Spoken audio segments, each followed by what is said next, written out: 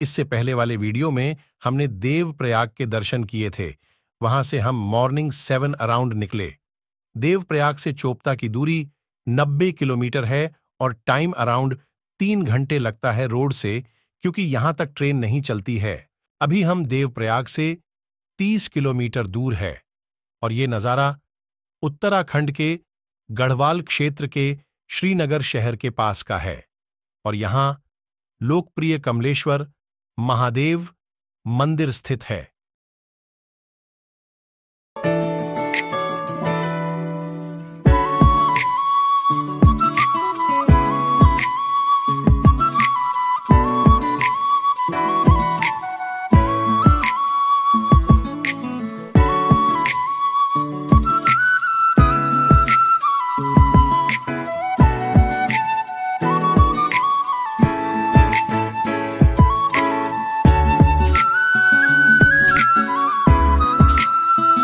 श्रीनगर का ऐतिहासिक शहर अलकनंदा नदी के प्राचीन तट पर बसा है और प्रकृति की उदारता से भरपूर है, जो हर जगह से पर्यटकों को आकर्षित करता है।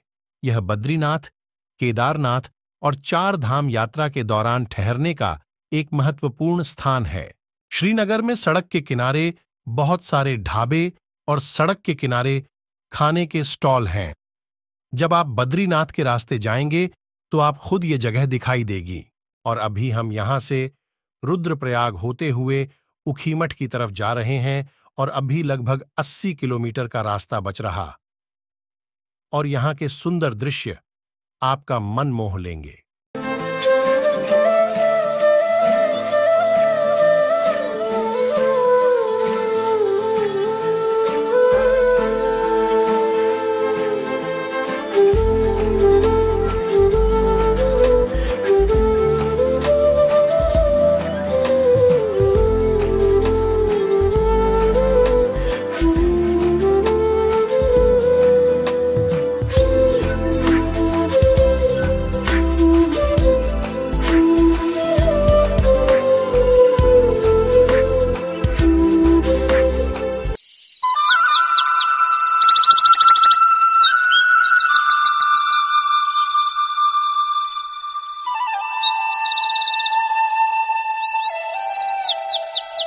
you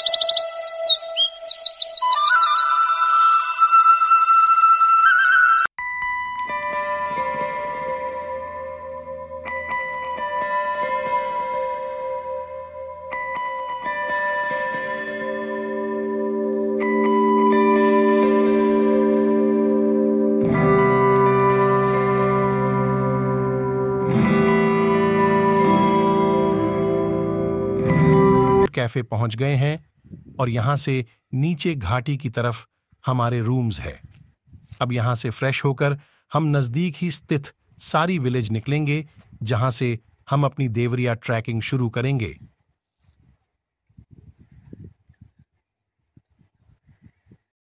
सारी एक उपजाऊ गाँव है। ढलानों के साथ साथ मैदानों का उपयोग विभिन्न फ़सलों की खेती के लिए अच्छी तरह से किया गया है। जब तक हम सारी गाँव पहुँचे, तब तक दोपहर के तीन बज चुके थे। हालाँकि इसकी केवल उत्तराखंड में उम्मीद थी, हम थक चुके थे। अगला दिन पहले से ही चोपता के लिए निर्धारित किया गया था।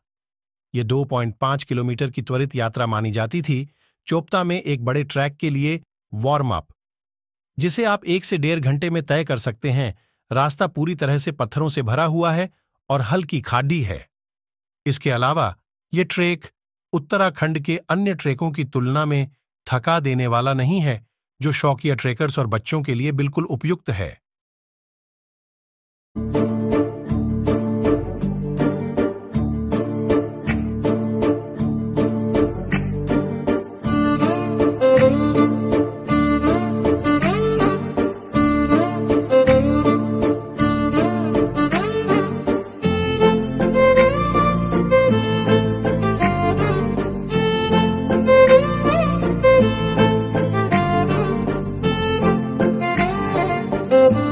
ओंकार रत्नेश्वर, महादेव मंदिर इस क्षेत्र के सबसे पुराने और सबसे प्रतिष्ठित मंदिरों में से एक है, जो प्राचीन काल का है जब इस क्षेत्र पर कुमाऊं साम्राज्य का शासन था।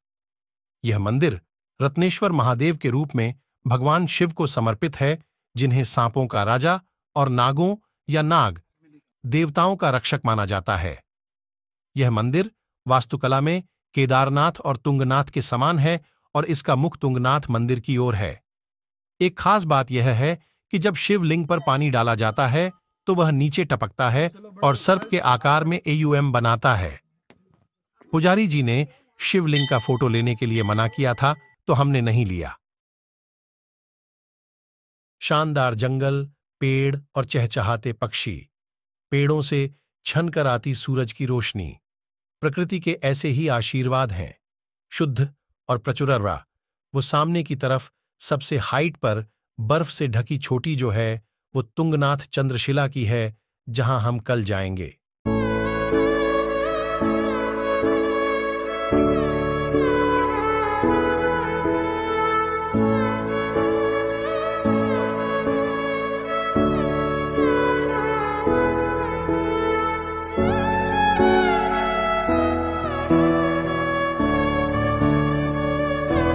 यहाँ दो सौ रुपए की टिकट है। अगर स्टूडेंट कार्ड है तो सौ की। यही टिकट तुंगनाथ ट्रैक के टाइम भी दिखानी पड़ेगी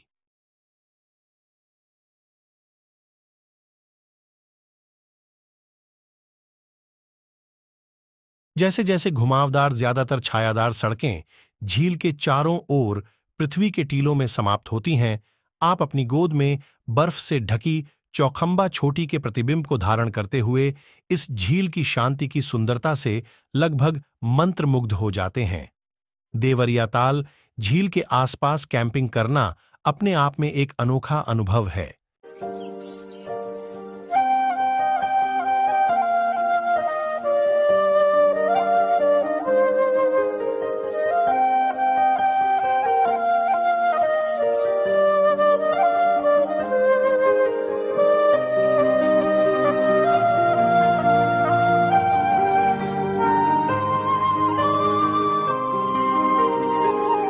देवरिया ताल में आपको सिम के कमज़ोर सिग्नल मिल सकते हैं। इसलिए अपनी सभी महत्वपूर्ण कॉलें सारी में करें। झील के अंदर और उसके आसपास कूड़ा कचरा फैलाना एक दंडनीय अपराध है और ट्रेकर्स को अतिरिक्त सावधानी बरतनी चाहिए कि वे झील को प्रदूषित न करें। झील पहाड़ों को प्रतिबिंबित करती थी और शानदार दिख रही थी। यह सूर्यास्त का समय था और पहाड़ बेदाग सफ़ेद से लाल, नारंगी और गुलाबी रंग में बदल गए।